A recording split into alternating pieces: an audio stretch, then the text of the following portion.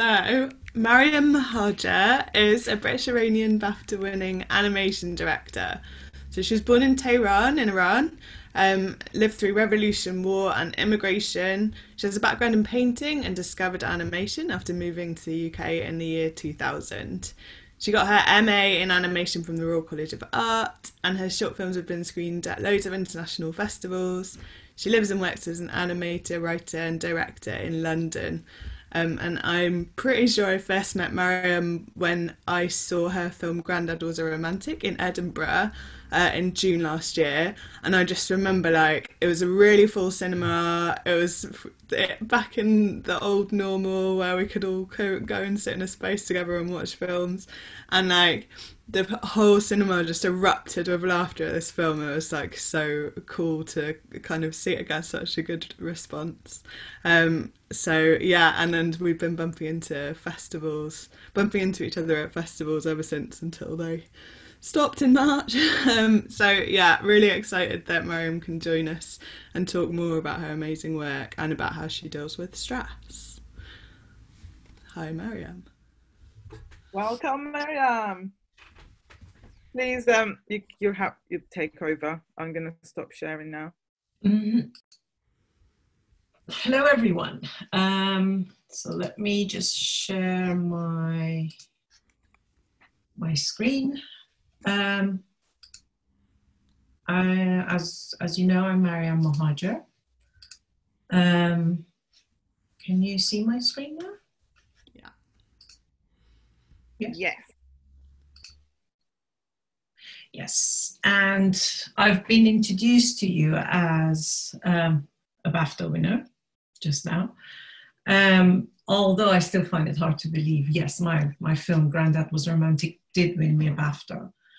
Um, but what I want to talk to you about today uh, begins um, from one of the scariest, most stressful days of my life.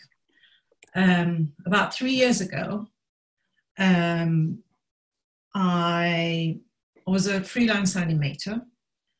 Um, uh, it had been about nine years since I had made my own films. So for nine years, I've only worked on other people's work um, projects.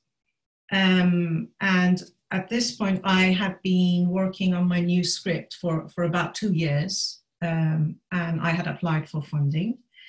And on this day, I realized that my funding application was rejected. Um, these rejections are, are quite um, tricky. Um, these are my the, the films that I've worked on, uh, my own films, you know, nine years before. Uh, when you get a rejection, for, for me, one of the easiest reactions um, is just to wait and use my creativity in, in other ways. So I did some painting. I have a paint back, painting background, so it's always something I enjoy doing. Um, I also um, published a book in Iran. It's it's a series of short, funny love stories. It's in Persian, um, uh, but it is something I did, and I again I enjoyed doing it. Um, and it's it's not always you know sophisticated things that you do with your creativity. Uh, just did this thing. I could be a shoe um, and also having a kid helps, you know, lots of arts and crafts projects with, with my daughter. Um, these are um, Halloween decoration uh, using expired flour. Probably gone wrong. Um, so you, you're doing all this, and in the meantime, your script, your story, your idea is just sitting there gathering dust. So by the time you get the um, funding, if you get the funding, I never did. Um, I think there is a risk that you, you may not be connected to your story anymore. Um, so I just decided to go ahead and make the film myself and not wait for the fund, funding anymore. Um, how am I going to do this? You know, um, th- there are two like two two ways of panicking as you say two stress factors really one was from the practical point of view, and one was from the emotional mental point of view. Uh, from the practical point of view, is it was that I had no team, not even a producer. I was on my own. Um, so on, on that note, I thought, okay, I'm a 2D animator. I've got a computer. And a lot of it I could do myself. So I, I already had written the, story. I've done the script. Um, so I became my own producer. I, I mean, director, animator, and designer at the same time. Um, there are two things that in my projects, in my films, I would never ever compromise um, and say, like, okay, I can do it myself. One is music, and the other is sound. Uh, music, uh, I've been working for Tanara Dawkins, the composer, for years now um, and we have a great relationship. And the moment she said she was on board with this, it really like motivated me even more to do the film. Um, with sound, I had this great experience working with, with um, Sue, Sue Harding, the Foley artist in Fonic, in my graduation film, again, nine years ago. Um, but I really, really wanted to work with them again. Now, we're talking about Fonic. Fonic is a great sound studio working with huge, huge, you know, TV productions, feature film productions. Uh, you can't help but think, okay, why would they be even interested in, in this tiny, low budget project of mine? Um, a good friend once told me, always approach, you know, if, if it's a famous actor, if it's a well-known sound uh, mixer, the worst thing they could they say no. Um, so I approached, and luckily they didn't say no. They they were up for it. Um, so that was the practical bit done. Um, from the um, emotional point of view, um, again, that it was that I was on my own. Um, I was, um, you know, as I said, no team. I wasn't a student anymore. Uh, so I did not have that whole support system, the, you know, the lovely tutors to, to just, you know, to, to go to when you need to talk to someone. Even, uh, even the, the thing that I was really craving for, uh, brain, brainstorming sessions with your fellow students, you know, when you all sit at the table and you all just talk about your ideas and amazing things happen there. Um, so I didn't even have that. Uh, but again, the scariest thing for me was that I have not made a film um, in nine years. Um, it, it felt like the universe of animation had moved on into you know something amazing whilst I was left behind in a half asleep phase. Um, am I even relevant today? Um, through kindness of a friend, a good friend, I got the chance to actually um, attend a big anima- international animation festival um, as a guest. Um, and I was there about for about a week, and all I did was just watch short animations from around the world. Now, it was really inspiring, of course, but at the same time, it kind of took my fear away.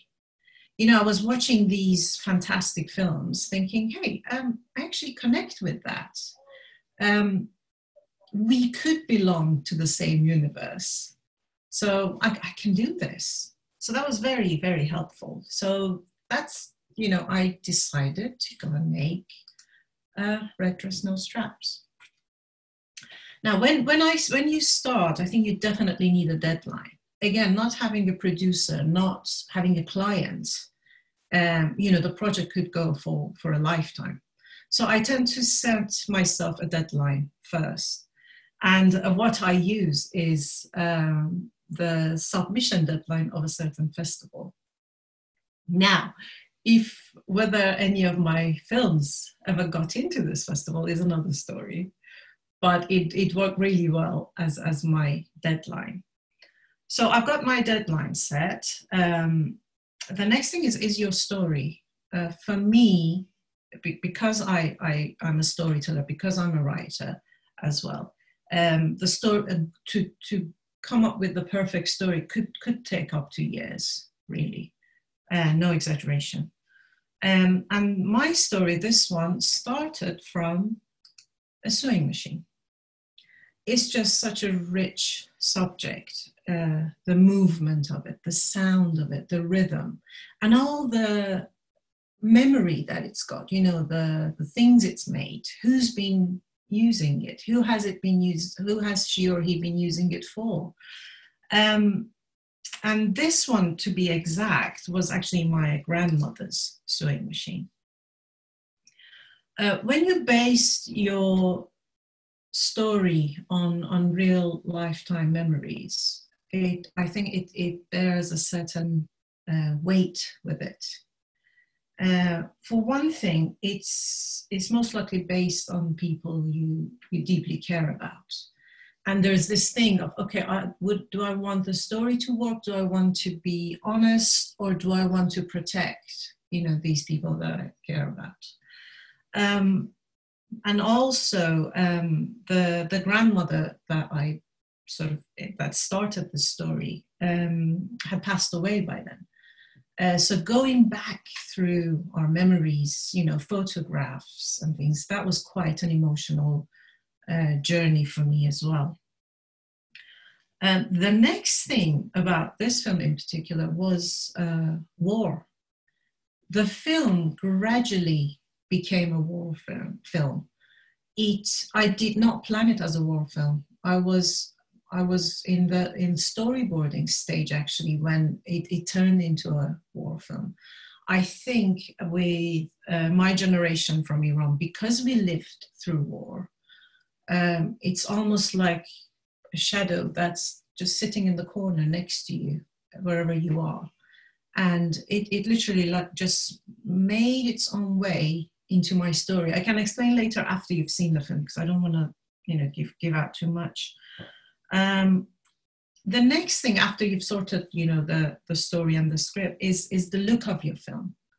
Okay, you've got all these ideas, you've got all these things to say, how do you visualize it? What should it look like? Um, in, in this case, it took a um, good um, two months for me to come up with the, with the look and say, okay, this is it. That's what I want it to look like. Um, once you get to storyboarding stage, for me, you know, after you've storyboarded the first few shots, that's when you say, okay, you know, you know, I think you've you've sort of passed the huge milestones, and you you know the film could go on. Um, now, so I've started the film. Uh, as as you know, I'm a parent. For four months, uh, except for school pickups and school drop-offs, I would not meet greet, talk, interact with any real human beings except for my family. Um, I was spending over 12 hour shifts every day in this room where I am now. Um, no breaks, no weekends, um, no holidays. Um, that Christmas, uh, my daughter and my husband went away to spend the Christmas with uh, to spend Christmas with with relatives. Well, I stayed behind, uh, working on my film with no one to keep me company except for a little dog. Um, so I, I made it though. I met the deadline. I finished the film in time. Uh, and now what? Um, so I start sending the film to festivals. You spend hours, you know, filling out all these forms and also spending a lot of money for submission fees. Uh, so you, you do that, and then again, what can you do? The wait um, and the stress. So I'm going to keep him there for now, just to, to take care of our stress. Um, with the festival thing, again, you know, with that nine year gap, no one knows my name. You know, no, my name does not ring a bell. I do not belong to a famous animation company, a filmmaking company. Um, I, I, this is not a student film, so I don't have the name of a good university, well-known university behind me. So, what are the chances of um, festival submission team uh, being interested enough to even watch my film till the end. And if you submit, if your film is on Vimeo, if you submit via Vimeo, you can actually tell, you can see how much of your film has been watched. And I'm telling you, there are some heartbreaking moments there. Um, so two months goes on, I hear nothing. And in April, I remember I was visiting my parents in Tehran. I was having a cup of tea, black tea, with my mom, and uh, sounding like a moody teenager, I was going, This is it. This is the end of my career. I can never be a professional filmmaker. I might as well accept it. And on that same day, I'm not, you know, I'm not making this up. On that same day, I received this email from Edinburgh Film Festival, which Lauren just told you about. Uh, so that was my film premiere. Um, and the, the start of Red Dress No Straps um, festival journey, uh, which was amazing. I, I got to, and now after COVID, I appreciate it even more. You know, I, I went to so many places, you know, watched so many films and watched people watch my film live, which was amazing. Um, right after, so Red Dress No Straps was finished February 2018. Next year, February 2019, I finished Grandad Was Romantic.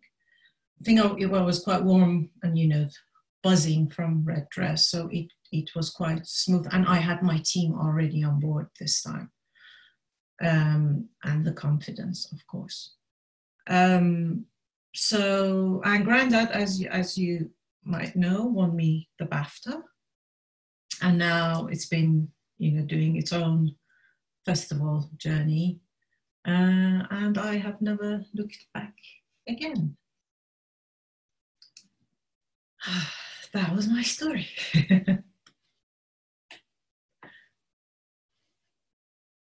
Amazing, amazing. Thank you. Thank you so much, Mariam. Um, I'm pronouncing your name as if it's a Turkish name. Am I saying, because uh, I'm saying Mariam, because we have that. Am I, should I be saying Mariam? No, Mariam. Okay, all right. I just didn't want to keep making the. Making no, no. The, um, Lovely. So thank you so much. We're going to show the film first, um, and then um, we will do a little bit of a Q&A. So I think we're all very excited to see the the red dress um, that's been mentioned. We're ready. Hope you like it.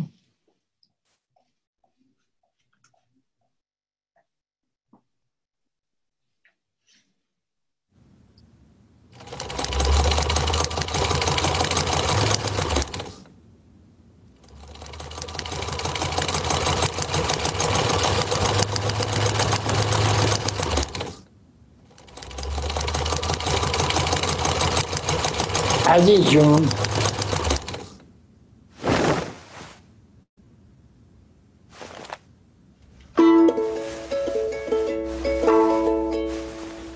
Monday in school, they told us to say death to America.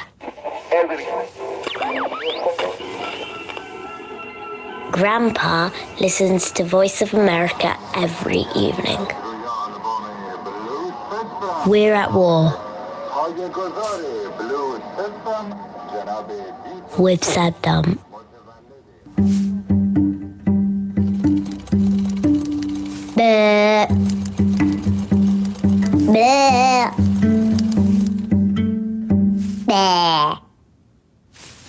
Yesterday, on Friday, Saddam tried to bomb our house. But he's so rubbish that he missed. Our house was not hit. We're all alive. And we're not dead. On Monday in school, they told us to say death to America. This lady is American. She's a singer. She's pretty. Her dress is pretty. Really pretty. Granny's making it for me. And I'll wear it. And I'll be the queen of fairies, rabbits, and elephants.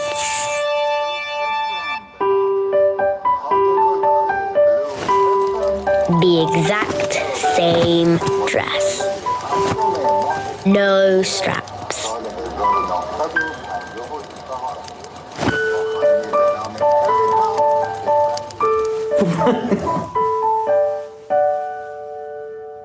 On Tuesday, there was a party. After lunch, all the women came into the bedroom.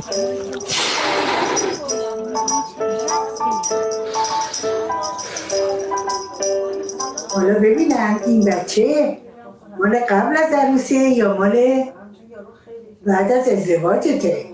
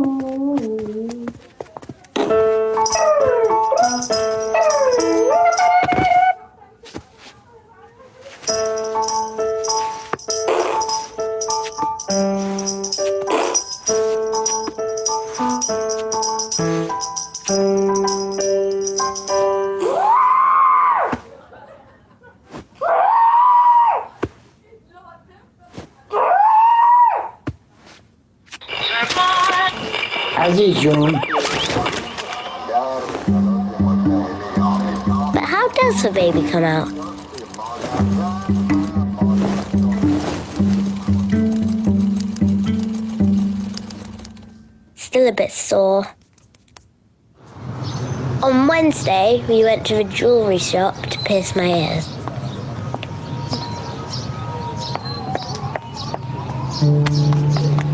Mm-hmm.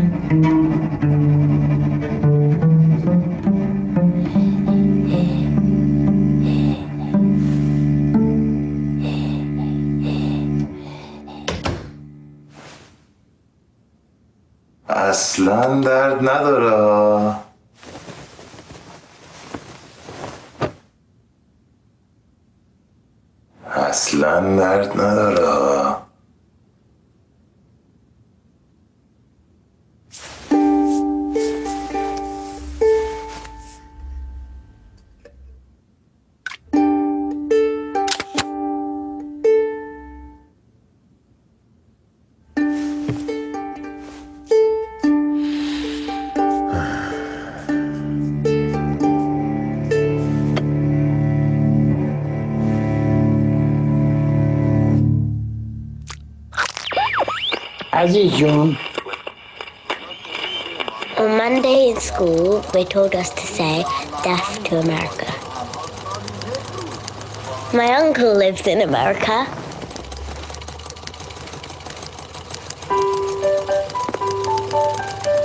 He sends pictures.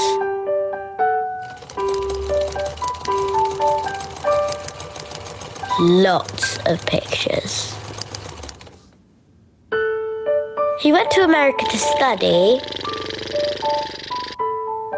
but then there was a revolution here. So he never came back. My uncle's going to be a professor. He does nothing but study. All day. Every day. Granny says so.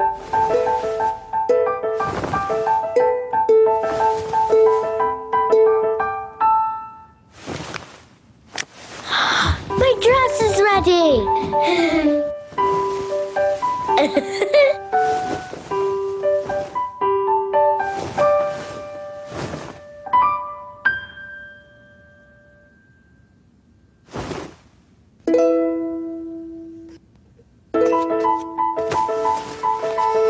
I didn't want straps. Granny says I can't wear a strapless dress until my boobies grow bigger.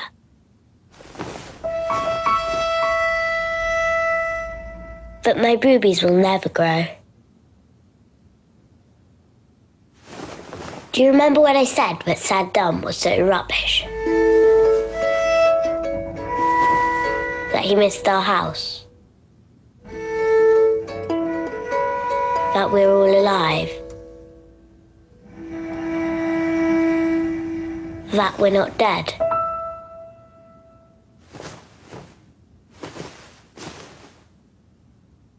I lied.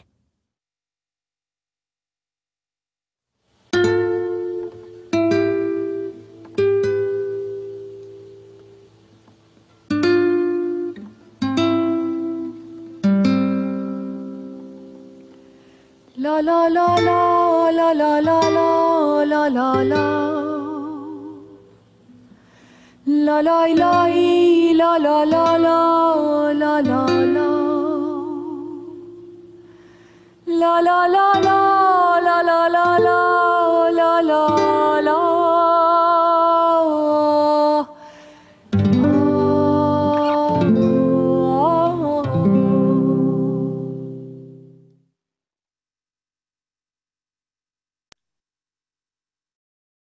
Wow, very so beautiful and sad at the same time. I'm sorry, I think I saw some tears. I'm sorry, I do apologize. Um, no, don't apologize. Um, I want to say what Navid said. He said he's so proud right now that he's Iranian and he's thanking you. So, um, Thank you.